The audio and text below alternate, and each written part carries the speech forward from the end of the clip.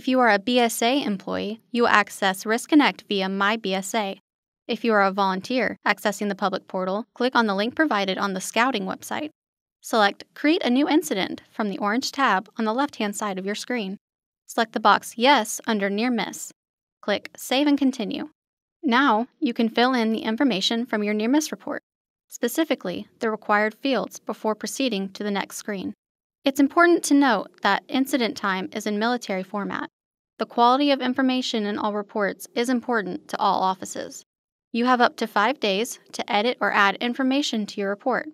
For more information regarding their associated field, simply hover over the blue icons. For Council slash BSA location, click the magnifying glass. In your new window, click the carets to the right of the boxes to find a searchable hierarchy. You can search for your council or BSA location by filling in part or all of the name, city, state, or postal code, followed by clicking the magnifying glass to your right. Once you find the correct entry, double click to add to the form. This is an example of a required field.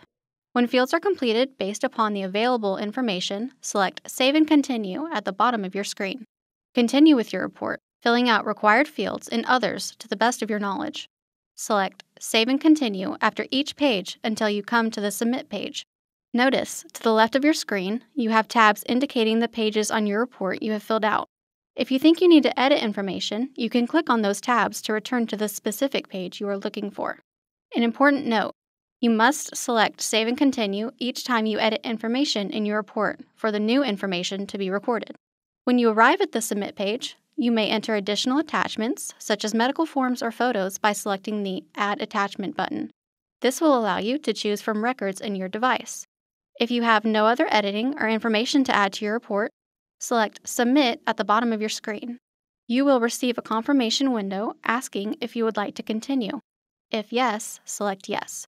If no, select No, and you will return to your Submit page. When you select Yes, you will receive a window with an incident number in the format of IN followed by a series of numbers. Keep this incident number for your own documentation as each incident number is specific to its associated report. Select OK. You will be redirected to the Welcome screen where you can start new reports.